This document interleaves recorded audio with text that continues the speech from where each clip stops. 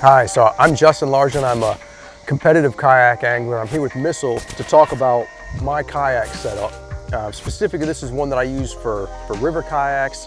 It's a, it's a more friendly, uh, budget-friendly option. Uh, it's kind of a, a throw and go boat. Uh, but I think it's a great boat, uh, or a, a great type of boat for somebody that's just starting out. Maybe you're, you're thinking about getting into the kayak game and you've seen some of the prices on some of these higher end models where you're spending, you know, $3,000, $5,000 on a boat. And that's not, you know, in the cards for you. Um, there are boats out there that you can fish out of, you can compete out of, uh, that are, are much more friendly on your wallet. And, and this is one that, that I use. Um, you know, before I jump too much into the specifics of the boat, um, I'll talk about some places or some advantages to a boat like this. Um, this one is a Crescent Ultralight. It's 10 foot. It is, I believe, 47 pounds. So it's, it's much lighter than my, uh, my normal tournament boat, my bigger rig, uh, which is a Hobie Outback. Um, it, it's somewhere in the 100 pound range. So significantly, you know, almost double the weight of this, uh, if not more than double the weight of this. It's, uh, it, you can do a lot of things with that bigger boat. Um, but all of those accessories and things that you put on it, they add weight, uh, it becomes cumbersome. Um, they're great boats, I love my Outback, but there's a place for a little boat like this. And again, it's perfect for somebody who's just starting out. Um, one of the things is, is portability.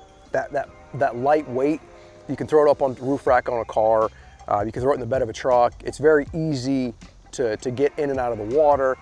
Uh, much easier than those heavier models. You don't need a, a fancy trailer for this guy. Uh, again, it, it's just very easy to transport almost regardless of what type of vehicle you drive. Um, similarly, regardless of where you, you live, you know, maybe you're a high school angler, college angler, somebody that's living in an apartment and you don't have a place to park a big trailer or to stick a, a gigantic boat.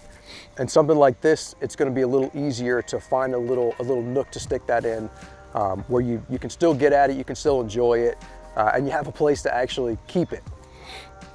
Um, another advantage, uh, something like this is it's, it's going to be a little bit stealthier than those bigger boats, in my opinion. I can take a small kayak like this. Um, I love to get in grass, in shallow grass on tidal fisheries, uh, and you can just slide through that stuff.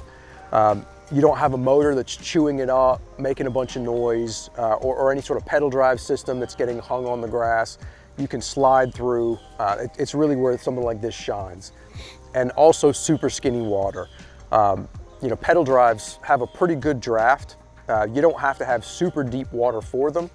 Um, but even on this shallow river that I'm on today, a pedal drive is just gonna be, it's gonna be in the way. You're gonna be constantly hitting rocks. Whereas something like this, I can navigate easier. Uh, I'm not banging into things. I'm not spooking fish. So uh, a couple of a couple of ways that, that this is a, uh, a sneaky little boat, and and honestly, th this is something I've fished tournaments out of. I've had some good tournament days out of this boat uh, when I'm in the right situation. Now, situations where I won't want to take this, if I'm fishing a big body of water, um, if I'm fishing offshore, if I'm fishing in real windy conditions, this boat's gonna be tough. Uh, where those, those pedal drives and motors shine is covered water. You can cover a lot more water with those without being physically exhausted from paddling uh, or even pedaling. Um, and those bigger boats are gonna handle the wind better. You can use your feet to pedal and hold yourself in place and you got your hands free to cast. With a boat like this, it's not gonna be as, as user-friendly in the wind. You're gonna have to paddle, paddle, paddle, put the paddle down and cast. Um, but yeah, that some of the advantages, um, I'm sure I'm, I'm, leaving some stuff out, but I really like little boats like this, throw and go boats. Uh, they're perfect for, you know, maybe you don't have the whole day to go spend fishing.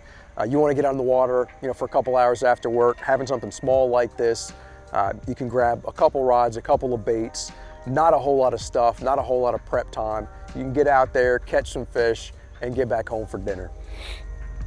So uh, I'll start with the paddle. This is one that I actually got at Academy. Um, I like these bent shaft ones.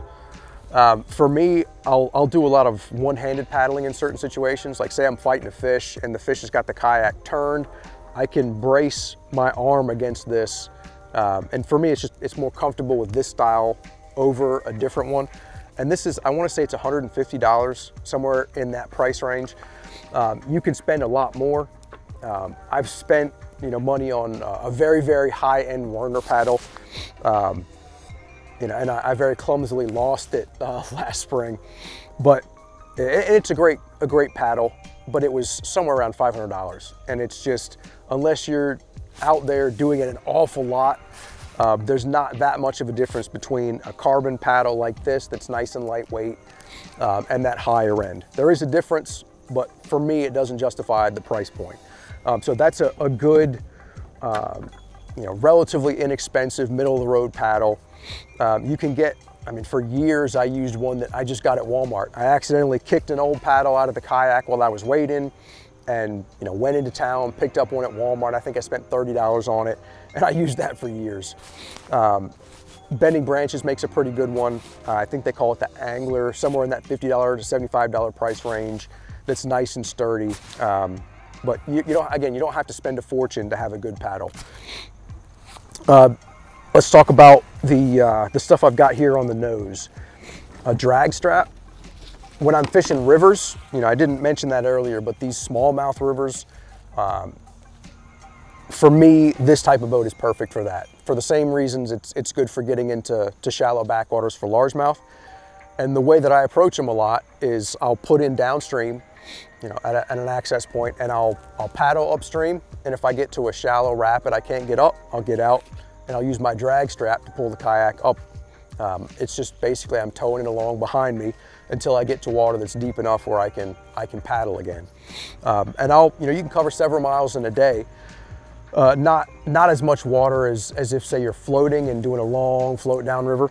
Um, but you can go upstream and be very stealthy um, and catch a lot of fish uh, that way. So wading, if you're gonna wade, have some type of, uh, of strap to drag the kayak. Something else, uh, nets. I know guys that, that like a really big net, like something used on a bass boat. I like a smaller net like this. Uh, it's an Ego Wade net. It's got really big mesh. It's got the rubber coating, so it's, it's easy on the fish, and it's also easy to get the, the treble hooks you know, out of this one. Um, I've got a Yak Attack. You know, if you're new to kayaking, Yak Attack's a great company. Uh, located here in Virginia, they make a ton of accessories. Pretty much anything that you could need for kayak fishing, they have it. Um, these are called roto grips. They make them for holding a paddle, but I've found that it's a perfect way to hold a net. For me, those bigger nets, there's just not enough space in a little kayak like this. There's other guys I know that won't even take a net for that reason, but particularly if I'm fishing with treble hooks, I like having a net. Um, it reduces the chances of me getting the hook in my hand um, or losing a fish trying to play it out alongside the boat. And this roto grip will hold that securely. Um, you know, it gives me peace of mind that's not gonna float out of the kayak that way. Uh, another, most of your kayaks are gonna have some sort of dry storage. Now, take that with a little bit of a grain of salt. Um, kayaks, you know, you're out and especially out in fast water in these rivers, there's gonna you're gonna get water. Um, you know, I don't care what what you know any manufacturer says. I'm I'm not knocking any any manufacturer out there, but every kayak that I've owned, you know, water will find its way inside of it. So what I do for keys and wallet, Nite Ize makes these cool little waterproof bags. You know, you can use something like a Ziploc bag. Um, those Ziploc bags I found, keys can punch a hole in them and then you get water inside it and now your wallet's wet and you're not happy at the end of the day. Uh, but I have a storage bag here that's in the front of this that secures to this, uh, this mount. And I've just got my, my wallet and keys in there. And I also keep a, uh, a little tool in here. It's just mini bolt cutters. If you ever hooked yourself um, out in the water, it's not fun. These mini bolt cutters with either hand, uh, I can cut through any size hook uh, to knock the barb off and free myself. So I, I, take that with me everywhere. But dry storage, you know, most boats will have it, but just keep in mind, it's, it's gonna be a good idea to have some sort of dry bag that you're putting your stuff in before you put it into that hatch. Um, let's move on down a little bit. If you're fishing tournaments, this is a must catch board. And even if you're just you know fishing for bragging rights, you want to tell your buddies about the giant that you caught, having this with nice measurements on it uh, it's a way it's a way to do that and prove, hey, I caught a giant fish. Uh, a little trick that I'll do, there's a nice little groove on the inside of this, this boat that allows the water to drain. And I will set, you know, say I'm, I'm fishing, I've got a wet bait. I don't want to put this wet bait back in the box. Um, you know, it's to rust and rust everything else in there. I'll just set them in that little groove and then set my, set my measuring board over top of it to where I'm not getting those treble hooks hung on things. Uh, the seat for this boat is really comfortable. Um, there's not a whole lot fancy about it, but I have a little on the back of it. I have a, I'm not even sure what you call it. It's kind of like a little accessory pack. Oop. My Hobies. The, uh, the accessory pack allows me to bring pliers and I'm always gonna have pliers. I just have them behind me, fastened to the back of that, that seat. I also like to have a de-hooking tool and scissors. Scissors, you know, if you're trying to trim up a skirt on something, you can use it to cut line also. And then if I've got a fish hooked deep, or if I've got a toothy fish, a pike, a pickerel, muskie, um, it's gonna be a little easier with this um, to remove that hook without getting myself chopped up by those, uh, those razor sharp teeth. Water is important. I always have water with me.